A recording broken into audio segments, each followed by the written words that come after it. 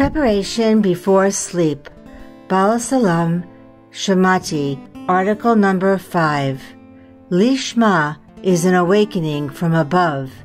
And why do we need an awakening from below?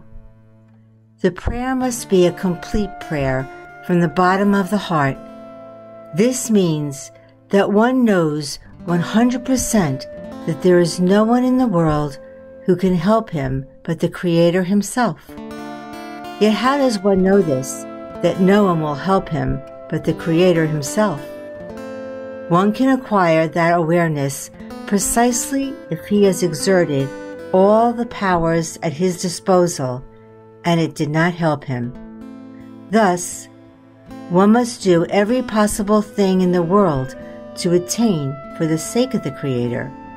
Then one can pray from the bottom of the heart, and then the Creator hears his prayer.